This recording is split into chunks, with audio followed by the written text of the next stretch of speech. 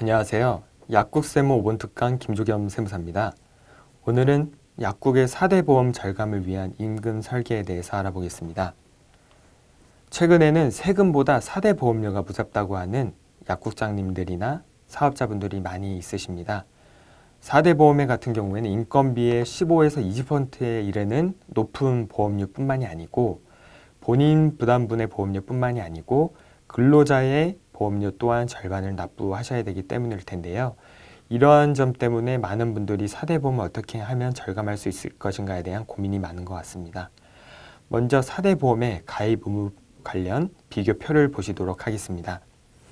국민연금의 경우에는 만 18세 미만이거나 만 60세 이상인 경우에는 가입이 제외되지만 만 27세 미만인 경우가 아니라면 소득이 있든 재산이 있든 구분 없이 4대 보험에 최소한 지역 가입자라도 국민연금을 가입해야 하는 것이 의무입니다. 건강보험이나 고용보험, 산재보험의 경우에는 나이 요건은 존재하지 않습니다. 만약 월 소정 근로시간이 60시간 미만인 경우에는 국민연금, 건강보험, 고용보험은 제외될 수 있지만 3개월 이상 근무하거나 8일 이상 근무하는 경우 고용보험 또는 국민연금을 납입하셔야 합니다. 4대 보험 절감을 위해서는 비과세 급여를 활용하는 것이 가장 중요합니다. 세법에서는 4, 대 보험이 부과되는 기존 소득 월액 중에 비과세 급여를 제외한 과세 급여를 기준으로 4대 보험 기준 소득 월액을 전하도록 되어 있습니다.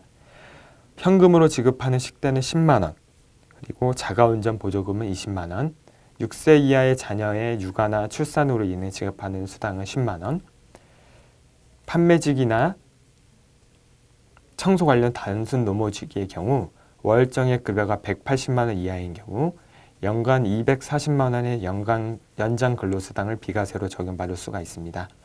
또한 약국에서 지급되는 실비 변상적인 작업복이나 작업몽, 작업화가 계시다면 이 또한 비과세 급여로 책정하실 수가 있으니 급여 대장을 작성하시거나 근로계약서를 작성하실 때 이런 비과세 급여를 참고해서 정확한 급여를 설정하는 것이 중요합니다.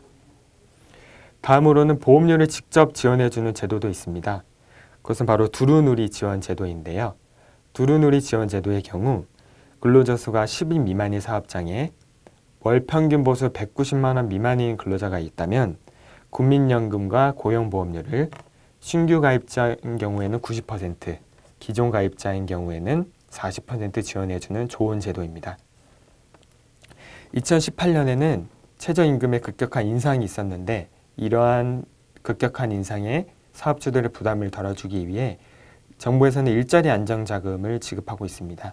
현재는 월 평균 보수 190만 원 미만인 직원이 있는 경우 매월 한 명당 13만 원의 일자리 안정자금을 지급하고 있는데 이 또한 4대 보험의 지급액에 대한 부담을 덜 수 있는 좋은 방법이 됩니다.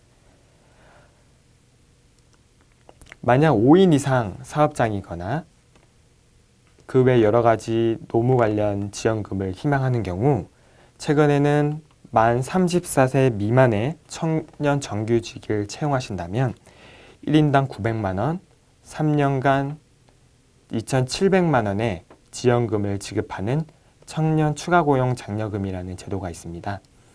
여러 가지 지원 제도를 지원하기 위해서는 여러 가지 요건이 있, 으므로 이러한 요건을 꼼꼼히 따져보고 해서 이런 좋은 혜택이 있을 때 많이 이용하시는 것이 좋을 것 같습니다. 지금까지 약국의 4대 보험료 절감을 위한 임금 설계 방법에 대해서 알아보았습니다. 감사합니다.